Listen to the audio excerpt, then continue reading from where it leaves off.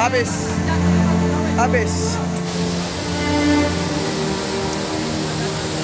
Indonesia kembali berduka akibat bencana banjir bandang hingga tanah longsor yang melanda Kabupaten Bima, Nusa Tenggara Barat dan Pulau Adonara, Provinsi Nusa Tenggara Timur yang menyebabkan kerusakan fasilitas umum hingga kerusakan infrastruktur dan hampir puluhan ribu masyarakat terkena imbasnya.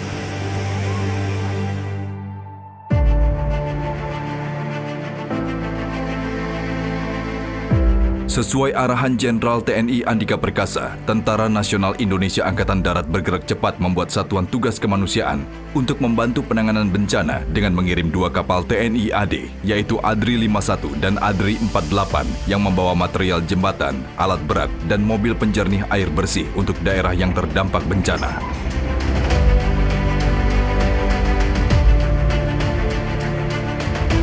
Misi rekan-rekan sekalian adalah misi yang sangat-sangat ditunggu. Karena jembatan ini kan penghubung.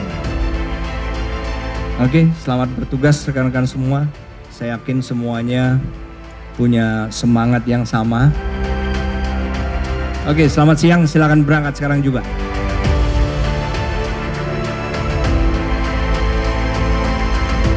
Kepala Pusat Zeni Angkatan Darat Maijen TNI Muhammad Munib menjelaskan, 65 prajurit yang bertugas di dua daerah bencana berasal dari Satuan Yon Zikon dan Yon Zipur TNI AD.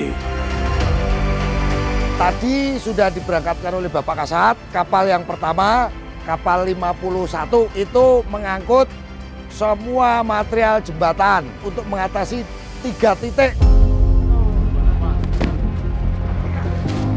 Kemudian setelah ini nanti sore akan diberangkatkan satu kapal lagi dengan tujuan yaitu ke Adonara Flores Timur.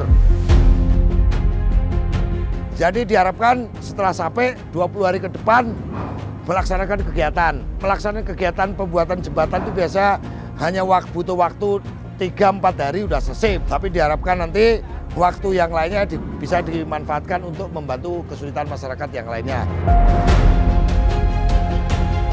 Diharapkan misi kemanusiaan ini berjalan dengan baik sesuai yang sudah direncanakan agar segera bisa memulihkan daerah terdampak bencana serta membantu masyarakat.